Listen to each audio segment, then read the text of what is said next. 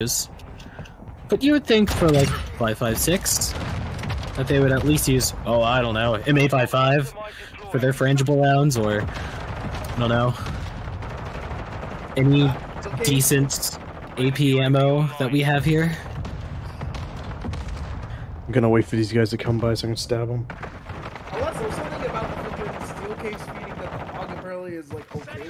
Well, no, it's, um, it uses the same model for every, um, 556 gun. It's not unique to the AUG.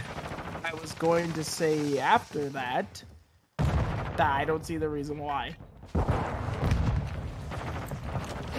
Yeah, no, if it was unique to the AUG, then I would just be like, ah, maybe it's some quirky little thing with the AUG, but no. I can't believe that actually fucking worked.